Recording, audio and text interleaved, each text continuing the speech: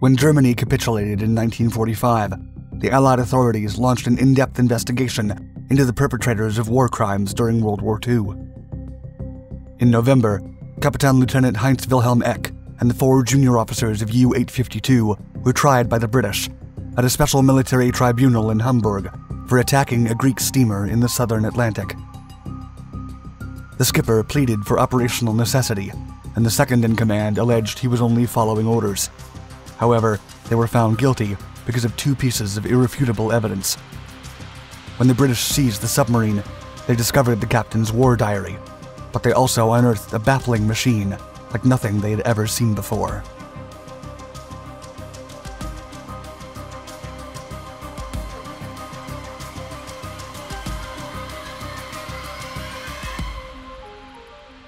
In jeopardy.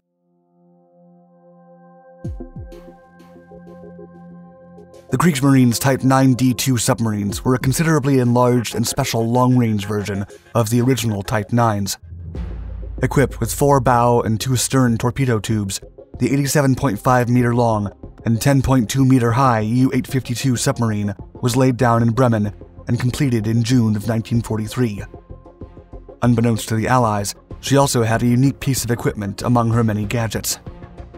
After undergoing sea trials, the Kriegsmarine dispatched the submarine for a top secret mission.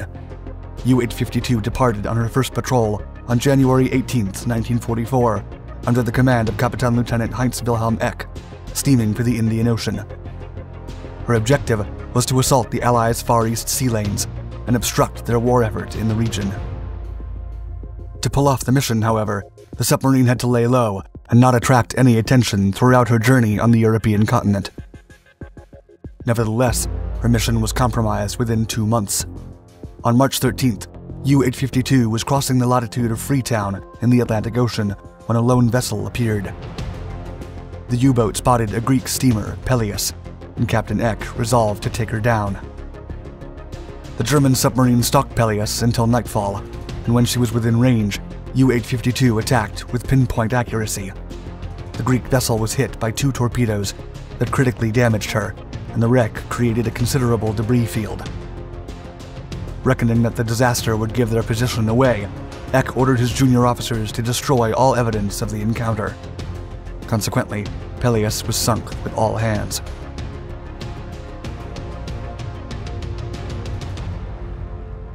Treasure Trove Two weeks after the intense engagement, German submarine ran into the British cargo ship Dahomey off Cape Town and sank her.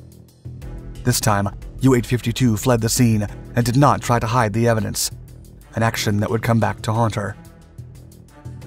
Before April was over, the submarine was sighted by the enemy while traveling through the Indian Ocean. She was spotted by a Vickers Wellington bomber coming from Aden in Yemen. Unable to dive after enduring severe damage from aerial depth charges, U 852 limped back to the Somalian coast. However, six Royal Air Force bombers from the 621st Squadron showed up to attack her before she could even reach land. The ongoing attack forced the German skipper to run aground on a coral reef 20 kilometers off the coast. Eck lost seven men during the engagement, and the rest fled ashore. However, 58 crew members were captured by the Somaliland Camel Corps and the local militia upon making it to Somali territory. Meanwhile, a British boarding party examined the wreckage. The Allies found Eck's war diary, which became indisputable proof of the war crime committed against innocent Greek sailors, but also an intriguing piece of machinery. Known as a rotor or gyro kite, the rotary wing device was an unpowered aircraft that relied on lift from one or more sets of rotors to fly, and this particular model was a Focke-Achgelis FA-330 Bachstelze cable-towed gyro glider. The aircraft's objective was to serve as a lookout platform, and it was a one-of-a-kind sea aircraft the British had never seen before. For all they'd seen during the war, they were still more than surprised by this unique asset in the Kriegsmarine's arsenal.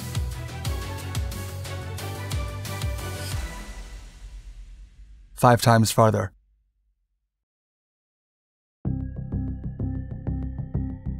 Submarines were unable to see beyond a few miles over the ocean while submerged. However, the Germans eventually found a practical solution to this issue. the Admiralty took several different options into consideration. One of them was the folding Arado AR 231 seaplane, but in the end, the Focke-Achgelis FA 330 proved more reliable and easier to use. The single seat kite included an assembly of three blades and could be deployed on the deck of a U boat by two crewmen. The vehicle was a simple metal frame construction that held the seat and the mast, in addition to the vertical tailplanes, landing skids, and a simplified control scheme that was handled by a stick. The airframe had no fuselage skinning, making it an ideal and cheap platform for mass production. Also, the airflow created as the ship steamed through the surface acted upon the rotors and spun them up into the air. Afterward, with an observer slash pilot aboard, the kite could be deployed behind the submarine and raised to an altitude of 120 meters above the vessel. Tethered to the submarine by a cable line, the autogyro kite could then be towed at a distance of 150 meters.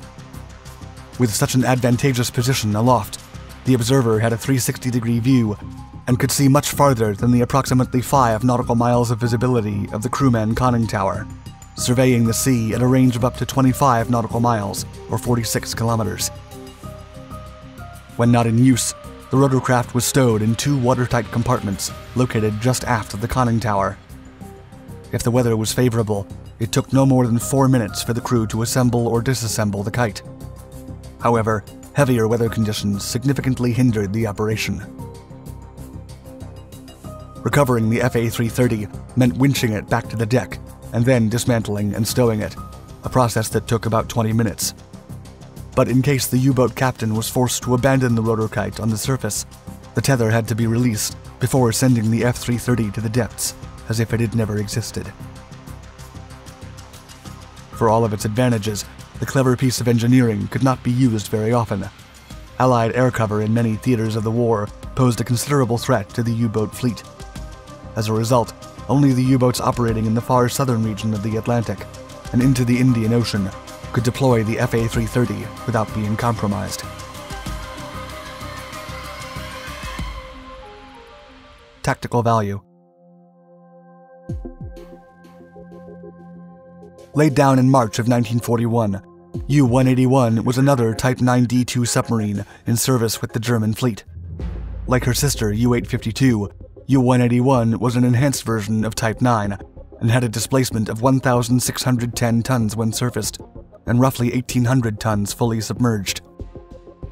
She was commissioned in May of 1942 under the command of Kapitänleutnant Wolfgang Lüth and attached to the 12th Flotilla not long after.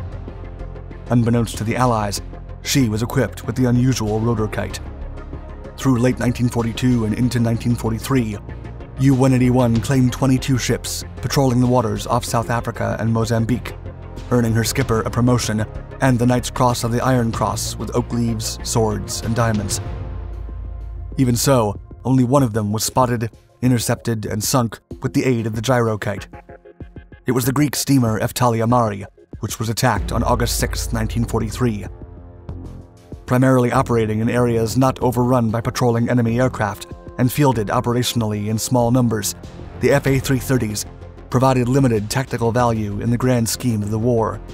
In fact, no more than a couple hundred units were built, and they all served in Type 9 U boats. Nevertheless, the British weren't aware of its actual reach and influence, and when they found an intact example, they studied the design thoroughly. State of the art technology. U 852's Captain Eck and his officers answered to justice during the Nuremberg trials after the war.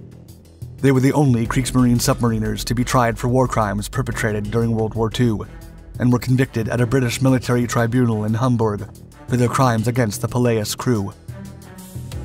The gyrokite found in the wreck was thoroughly studied by the British government, who conducted successful experiments towing FA 330s behind ships and jeeps. Even so, the prospect of the intriguing autogyro system faded away after the war ended innovative helicopter technology, and compatibility aboard warships did not take long to overshadow any benefits of the towed model. As more adequate battlefield solutions came forward, with helicopters becoming a key component of maritime operations, the concept was forgotten. Even so, The Bachstelzes are currently showcased in several museums around the world. Some units can be found at the National Museum of the United States Air Force in Dayton, Ohio, and the Stephen F. Udvar-Hazy Center in Chantilly, Virginia. Today, warships have a fixed helicopter flight deck over the stern to launch and retrieve rotary wing aircraft. Notably, the value of helicopters in military operations would not be rivaled until several decades later and into the new millennium, with the arrival of a concept Nazi engineers could only dream of the Unmanned Aerial Vehicle, or UAV drone. Thank you for watching our video. Please subscribe to Dark Seas and the rest of our Dark Documentaries channels to learn more about recent history and the impressive military and technological developments that have been used in the clashes between the world's superpowers. And don't forget to hit the thumbs up button and click on the bell icon to be notified of our newest content. Stay tuned.